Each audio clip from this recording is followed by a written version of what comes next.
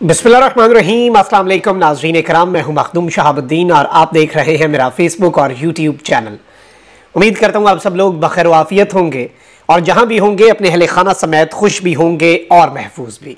नाजीन कराम एक मरतबा फिर रिकॉर्ड टूट चुके हैं। ताकतवरों के तमाम तर मनसूबे पाकिस्तान की आवाम नाकाम बनाती जा रही है और फैसला साजों के फैसले इस वक्त अमली जामा पहनने से पहले ही बिल्कुल दबड़दूस हो चुके हैं, क्योंकि कैदी नंबर 804 अटक जेल में बैठे हुए पाबंदे सलासल कोई रबता नहीं है, लेकिन वो फिर भी जीत चुका है।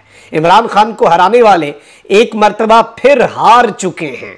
और वैसे तो ये उसी दिन हार गए थे जब फरा, जिस तरह फराज ने कहा कि तू वहीं हार गया था मेरे बुजदिल दुश्मन मुझसे तनहा के मुकाबल तेरा लश्कर निकला। जब ये पीडीएम के टोले का पूरा लश्कर एक शख्स को गिराने के लिए निकला वो वहीं हार गए थे।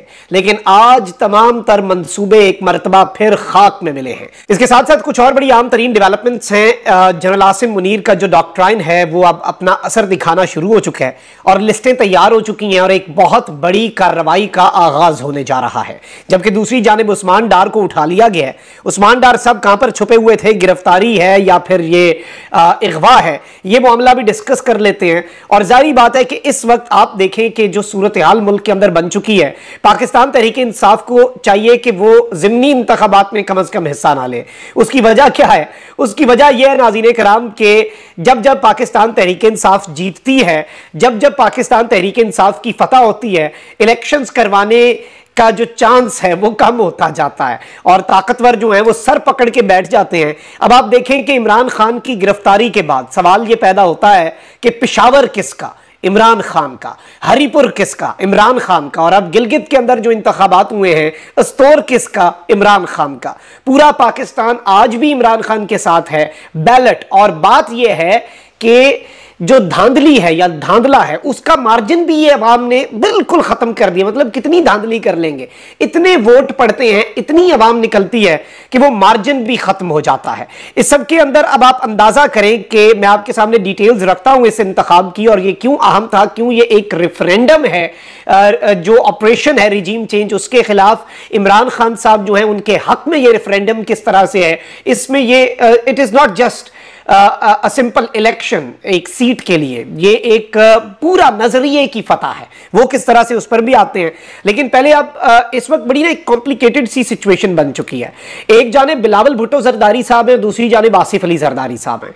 बिलावल भुट्टो कहते हैं कि नब्बे दिन में इंतबात होने चाहिए। जरदारी साहब कह रहे हैं कि जी इंतबात आइन के मुताबिक होने चाहिए। हल्का बंदियाँ जो है, वो करवा के इलेक्शन कमीशन इंतबात करवाए। हमें इलेक्शन कमीशन पर बहुत ज़्यादा एतमाद है। चीफ इलेक्शन कमिश्नर बेहतरीन आदमी हैं। इलेक्शन कमीशन के मेंबरान बिल्कुल ठीक हैं। बिलावल लगातार कह रहे हैं कि जी आ, आ, हम नब्बे दिन में इंतबात चाहते हैं।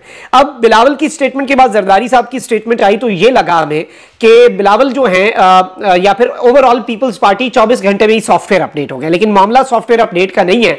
और बिलावल ने जो आखिरी बात की थी पार्लियामेंट के सेशन में नवाज़ शरीफ और जरदारी साहब को मुखातिब करके कि आप लोग आ, किस तरह की सियासत हमारे लिए छोड़कर जाना चाहते हैं जो पूरी ज़िंदगी आपने सियासत की आप भी चाहते हैं मैं और मरियम वही सियासत करें। उनका मतलब यह था कि क्या हम इस्टेब्लिशमेंट के नीचे ही लगे रहेंगे। अब chairman people's party Bilawal Bhutto Zardari ने एक बड़ी दिलचस्प स्टेटमेंट दिया है। पहले उनकी स्टेटमेंट उससे वन डिग्री डिफरेंट बाप की स्टेटमेंट अब दोबारा हमारा बेटे की स्टेटमेंट और इन्होंने कहा कि नब्बे दिन तो बहुत दूर हैं, साठ दिन में इलेक्शन होने चाहिए थे। हल्का बंदियों के बाद इलेक्शन के जरदारी के बयान का मतलब उन्हीं से पूछा जाए। केयर टेकर्स पर कोई एतराज़ नहीं, लेकिन ये चेयर टेकर्स ना बने। ये बड़ी दिलचस्प बात है कि ये जो कुर्सी है, ये ना छीन ले। ये केयर टेकर ही रहे, ये चेयर टेकर्स ना बने। और हल्का बंदियों के बाद इलेक्शन के जरदारी के बयान का मतलब इन्होंने कहा कि जरदारी साहब से पूछे, मुझसे ना पूछे। बिलावल भुट्टो जरदारी ने बदीन, ठट्ठा, सजावल और हैदराबाद के दौरे के मौके पर कारकुनों से खिताब किया। बदीन में मीडिया से गुफ्तगू करते हुए बिलावल ने कहा कि मैं सिर्फ़ घर की बातों पर ही सबक सदर आसिफ जरदारी के बयान का पाबंद हूँ। सियासी और आईनी मामला में पीपल्स पार्टी की सीईसी के फैसलों की पाबंदी लाजमी है। यानी मैं अपने वालिद के बयान की नहीं, बल्कि सीईसी के जो बयान हैं सेंट्रल एग्जेक्टिव कमेटी मरकजी मजलिस आमला के बयान का पाबंद हूँ। और जरदारी साहब के जो फैसले हैं, उनका मैं घर के मामला में पाबंद हूँ। हल्का बंदियों के बाद इलेक्शन के जरदारी के बयान का मतलब उन्हीं से पूछा जाए। मैं, उन्होंने यानी डिसओन कर दिया है आसिफ जरदारी साहब की स्टेटमेंट को और कहा कि पार्टी और सीईसी e उसी वही बात कर रही है जो बिलावल भुट्टो कर रहा है। जरदारी साहब अपनी कोई बात कर रहे हैं। इन्होंने कहा कि पाकिस्तान में जब भी ज़रूरत पड़ी तो अवाम ने कुर्बानी दी और अब उनका हक है कि वो पूछें कि अवाम हुकूमत के लिए क्या कर रही है। केयर टेकर्स पर कोई एतराज़ नहीं, लेकिन चेयर टेकर्स ना बने और मुल्क की मीशत के हवाले से भी बातें की कि इतने गंभीर नहीं है और ये सारी चीज़ें। अच्छा वहीं दूसरी जानब पीपल्स पार्टी को एक और बहुत बड़ा धचका मिलने जा रहा है और सिंध में पाकिस्तान पीपल्स पार्टी के खिलाफ इतिहाद के लिए सियासी जमातों के रबते हुए हैं। जारी बात है पीपल्स पार्टी ताकतवरों को आँखें दिखाए और यह कैसे हो जाए कि पीपल्स पार्टी को सिंध की अजारादारी कायम रखने दी जाए। जराये के मुताबिक मुस्लिम league Noon, Muttahida Qaumi movement, grand democratic alliance G D A और जमीयत उलमा इस्लाम जे यू आई फे में मुशावरत जारी है। जराये का कह रहा है कि एम के एम जी डी ए और जे यू आई के वफूद की कई मुलाकातों में मुख्तलिफ़ नुकात पर इतफाक हुआ है। जराये के मुताबिक पीपल्स पार्टी के खिलाफ सिंध भर में मुश्तर उम्मीदवार खड़े करने पर इतफाक हुआ है और तय पाया है कि जिस हल्के में जिस जमात की अक्सरियत होगी, वहाँ कोई इतिहादी अपना उम्मीदवार खड़ा नहीं करेगा। दूसरी जानब एम के एम जराये का कहना है कि मुतहदा तो किसी इतिहाद का हिस्सा नहीं बन रही। अलबत् मुतहदा को क्या पता कि वो किस इतिहाद का हिस्सा बन रहे हैं या नहीं बन रहे ये तो उन्हें अल्टीमेटली बताया जाएगा तो वो कंफर्म कर पाएँगे कि क्या मामला है। क्योंकि मुतहदा ऑब्वियसली आपको भी पता है कि क्या वो अपने फैसले खुद ले सकते हैं। उन्हें जिस दिन बता दिया गया कि इतिहाद का हिस्सा बन जाए, वो चुप करके अपने बयान जो हैं, उनसे यू टर्न लेके जो मर्ज़ी वो कहते रहे, वो तो उन्होंने करना ही करना है। तो ये भी एक सिंध के अंदर गेम चल रही है। वहीं दूसरी जानब नाजीन कराम एक चीज़ बड़ी कंफर्म है कि पाकिस्तान तहरीक इंसाफ जो है, उसके खिलाफ क्रैकडाउन जो है, वो कम होने का नाम नहीं ले रहा। और पाकिस्तान तहरीक इंसाफ के रहनुमा उस्मान डार आपको पता है कि वो रुपोश हैं, लेकिन उनके भाई को उठाया गया, उनके घर में जो कुछ किया गया इवन उनकी फैक्ट्री सील करना दूर की बात, घर तक को सील कर दिया गया। वालदा और घर की औरतों को आधी रात को सड़क पे बिल्कुल लावारे से एक तरह से छोड़ दिया गया। और ऐसी ऐसी चीज़ें उस्मान डार के घर का वो छापा अभी तक किसी को नहीं भूलता वो वीडियोज़ जिसके अंदर वो मिसहैंडल कर रहे हैं। मैन हैंडल कर रहे हैं। उस्मान डार साहब की वालदा को, बुज़ुर्ग खातून को, पूरी कौम के सर जो है वो शर्म से झुक गए थे। तो अब नाजीन कराम ये मामला हुआ है कि पाकिस्तान तहरीक इंसाफ के मरकजी रहनुमा उस्मान डार के नामालूम अफराद की जानब से अगवा के मामले पर पी टी आई की स्टेटमेंट आई है। पाकिस्तान तहरीक इंसाफ की जानब से उस्मान डार के अगवा और जबरी गुमशुदगी की शदीद मजम्मत की गई है।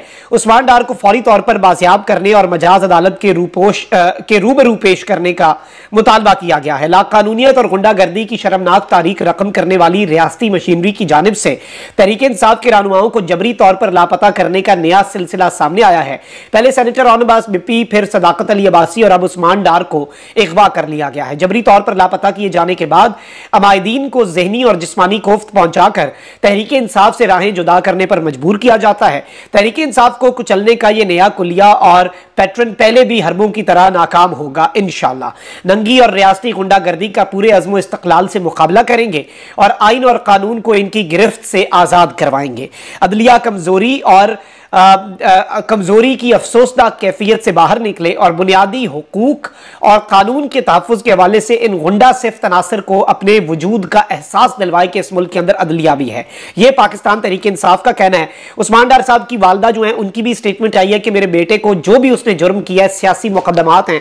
अदालत के सामने पेश किया जाए, उसके ऊपर केस चलाए जाए, लेकिन यह ना किया जाए जो उसके साथ किया जा रहा है, यानी गायब कर देना, अगवा कर लेना लापता। गिरफ़्तार होना एक अलग चीज़ है। अच्छा भाई, दूसरी जानब गिलगित बल्तिस्तान जो है, वहाँ पर आपको पता है कि इमरान खान साहब से वफा करने पर सबक वजी अला खालिद खुर्शीद जो हैं, उन्हें एक जाली डिग्री के केस में नाअहल कर दिया था, वो सीट उनकी खाली हो गई थी और उन्हें इमरान खान से वफा करने की सजा दे दी गई थी। लेकिन अवाम किस तरह से ये सब कुछ इसका बदला ले रही है? गिलगित बल्तिस्तान का हल्का है जी बी एल ए तेरह स्टोर वन। इसकी नशस्त पर होने वाले जिमनी इंतखाब के गैर अपनी गैर सरकारी नतज के मुताबिक पाकिस्तान तहरीक इंसाफ के मोहम्मद खुर्शीद खान। ये खालिद खुर्शीद साहब जो कि नाअहल हुए हैं, उनके वालिद साहब हैं। ये वहाँ पर नाकाम ये वहाँ पर सबको नाकाम करके कामयाब हो चुके हैं और इन्होंने बरतरी से मैदान मार लिया है और इस सब के अंदर पोलिंग के लिए लोग जो हैं वो पुरजोश दिखाई दिए। काशकारी के सीज़न में तमाम मसरूफियात के बावजूद दूर दराज इलाकों से भी पैदल सफ़र करके वोटर्स अपना हक राय दही इस्तेमाल करने के लिए पहुँचे। कई पोलिंग स्टेशन पर वोटर्स ने पोलिंग का अमल सुस्त होने की शिकायत भी की और आप अंदाज़ा कर लें कि अवाम ने एक मरतबा फिर इमरान खान के हक में अपना फैसला सुना दिया है। यह कोई छोटी चीज़ नहीं है यह कोई आम बात नहीं है। यह एक बड़ी डेवलपमेंट है और इस डेवलपमेंट की बहुत ज़्यादा इंपॉर्टेंस है। मैं जाती तौर पर पीटीआई को अब यह मशवरा दूँगा कि ताकतवरों को मजीद बौखला के रखने से बेहतर है कि इस तरह के जमीनी इंतबात में आप हिस्सा ना ही लें, क्योंकि जब जब पीटीआई जीतती है तो इंतबात का शायद जो प्रोसेस है वो आगे से आगे होता जाता है, क्योंकि समझ नहीं आ रही। आवाम तो डट चुकी है। आवाम तो पीछे हटने के लिए तैयार नहीं और इसीलिए देर इज़ अ रीजन के जो बाकी ऑप्शंस हैं, वो भी अब एक्सप्लोर किए जा रहे हैं।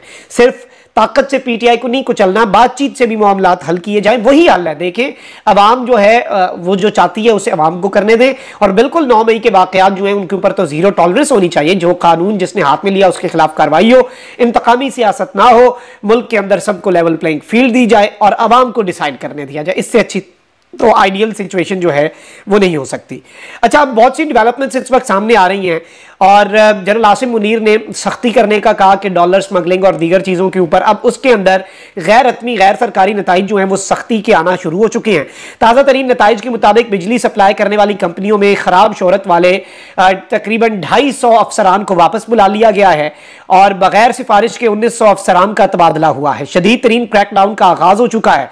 सिर्फ़ दो दिन में बिजली चोरी के दो हज़ार केसेस पकड़ लिए गए हैं। एक सौ चौंसठ मिलियन के जुर्माने और ग्यारह मिलियन रिकवर करवा लिए गए हैं। और इस सब के अंदर ये बताया जा रहा है कि इस दफ़ा जो पकड़ा जाएगा, उसके लिए माफ़ी के दरवाजे जो हैं, वो हमेशा हमेशा के लिए बंद होंगे। लेकिन इस वक्त कुछ डिटेल्स हैं जो कि बड़ी इंपॉर्टेंट हैं। और जराए बता रहे हैं कि पाकिस्तान में जो इस वक्त हो रहा है, वो नाकाबले यकीन है और ऐसा खौफनाक ऑपरेशन इससे पहले ना कभी सुना है और ना देखा है। उन तमाम अफराद का डाटा हासिल कर लिया गया है जो पिछले सालों में डॉलर्स की गैर मामूली खरीद करते रहे। अफगान बॉर्डर बंद होने से स्मगलिंग के ट्रकों की लाइन लग चुकी है। ईरानी तेल की स्मगलिंग करने वालों की लिस्टें जो हैं, वो तैयार कर ली गई हैं। डॉलर्स के जखीरा अंदोजों पर छापे मारे जा रहे हैं। चीनी और दूसरी अशिया की गैर कानूनी जखीरा अंदोजी करने वालों के खिलाफ बड़े छापे मारकर माल रिकवर किया जा रहा है। बड़े टैक्स चोरों की लिस्टें बनाई जा चुकी हैं। हुंडी का कारोबार करने वालों पर छापे मारे जा रहे हैं। बिजली चोरी करने वाले गिरफ़्तार हो रहे हैं और मुलविस सरकारी अफसरों के खिलाफ एफ़ काटी जा रही हैं। और इस सब के अंदर नाजीन कराम ये एक बहुत बड़ा क्रैकडाउन है। मतलब इस ऑपरेशन को एक खतरनाक ऑपरेशन कहा जाए जो कानून से इनहराफ करते हैं उन लोगों के लिए। तो ये एक बड़ी ये कहना गलत नहीं होगा। और जारी बात है कि इसके असरा जो हैं, लिस्टें बन चुकी हैं और आने वाले दिनों के अंदर लेकिन मेरा मुतालबा यही है कि अक्रॉस दी बोर्ड एहतसाब नज़र आए तो फिर मज़ा भी आए।